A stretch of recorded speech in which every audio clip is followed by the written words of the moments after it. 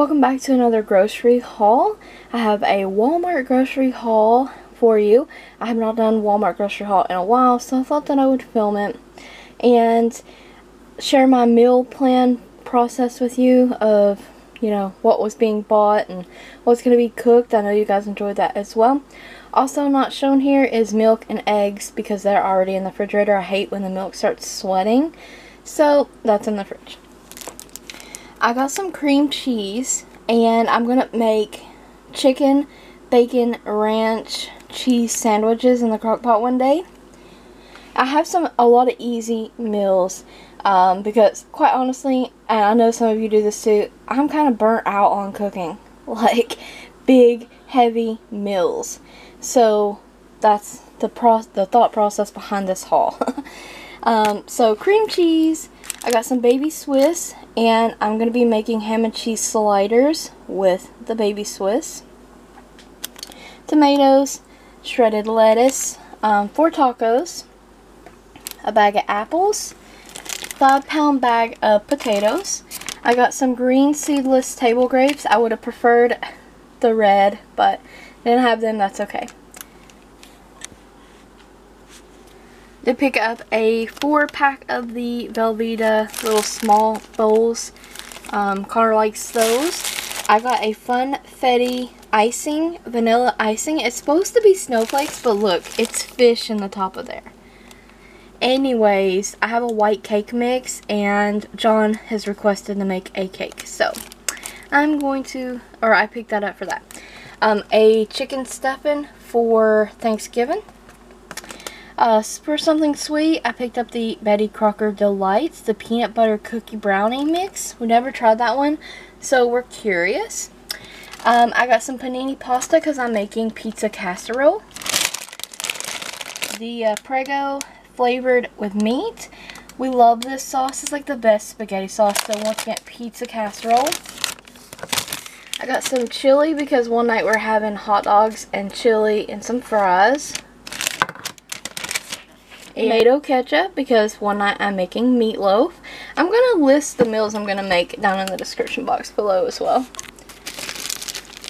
Got some of these Mission Street tacos. There's 24 um, floured or white corn tortillas in here. Those for tacos. And also a mild taco seasoning mix. And for a side with the pizza casserole, I did pick up these Red Lobster Cheddar Bay biscuit mix. These are so good. Um, the only thing is you do need additional ingredients to make these. So before you buy this box, definitely read it and make sure you have the rest of the ingredients at home before you leave the store. Well, I got some stuff for sandwiches, like once again, like quick lunches and things like that. So we got a party size of the original Great Value potato chips. Um, some Dean's French onion dip to go with that. Some Great Value honey ham. I really love the turkey, so we wanted to try the ham one out too. The, the turkey is so good. $3.28 and you get a pound and this is thin sliced. So the honey ham we're going to use for um, some of it for the ham and cheese sliders. And I highly recommend trying this oven roasted turkey breast. So good. And we love these Nathan's skinless beef franks. If you've never tried a beef frank or a skinless one, also highly recommend these. They are so tasty, so much better than a regular hot dog. So good. Turkey pepperoni for pizza casserole and two ground beefs here, two pounds of that. So one is going to be for tacos and one is going to be for pizza casserole. And I didn't get any other additional meat because I'm trying to eat up all the meat in our freezer because we have a lot of meat stored back. So I just needed some hamburger meat. I picked up a pack of these dinner yeast rolls for Thanksgiving. I already have my turkey breast and gravy and all kinds of everything. I think the last thing I really need to get is a pumpkin pie. And I just didn't want to get it. It's a little too early. Today is the 17th. I don't know when you'll be seeing this video. Whenever I get a chance to edit. But yeah, rolls. Some great value wedges to go with a side dish as uh, hot dogs or whatever. I meant to get a sloppy joe mix just because we haven't had sloppy joes in so long. I ran out of the store and forgot it. So that's another thing to pick up. And we picked up a thin crust pepperoni pizza. And one other thing we picked up at Walmart and Connor, we got like a small box of these one day and he absolutely loved these. So for him, like quick lunches and things like that, we did pick him up some bagel bites, pizza snacks. I did pick up the big box because they didn't have the small box. It was only $8 and I know this will last a long time. So this is the last of it. Told you it was going to be a quick, it's a small haul. It wasn't much. Um, but about a week and a half worth of meals. Um, so we got a loaf of bread, which I'm going to freeze because we already have like a half a loaf, but I just didn't want to go.